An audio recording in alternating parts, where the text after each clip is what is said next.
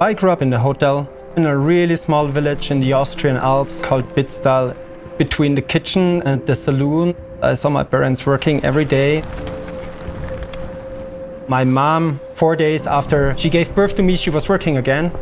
So hospitality was everything for my parents. And I didn't realize then that that was the initial seed that led to our app, Gronda. But I'm not a talented chef. So I wanted to follow my dreams and work abroad. You know, when you grow up in a village with 100 people, you think that's the world, but it's kind of limited. So I left the valley to search for more meaning.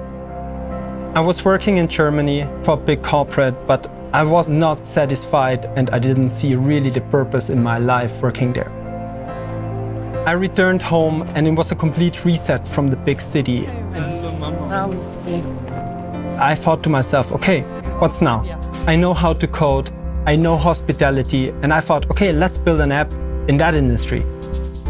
So initially, Gronda was a recruiting app, helping chefs to find new roles. Suddenly, COVID hit, recruiting was the last thing needed, so we pivoted. We introduced a premium membership for chefs where they can have access to top chefs' recipes, and we give those chefs a share of the revenue. For us, a recipe is like art. It's like the painting of a painter, it's a song of a musician. And they should be shared around the world, and we can make that happen.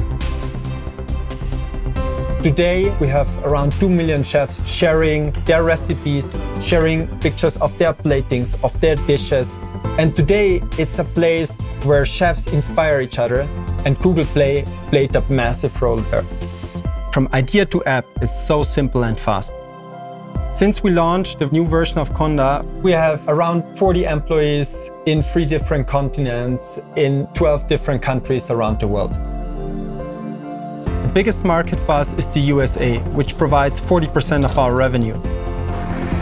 We're generating jobs and helping the chefs making money.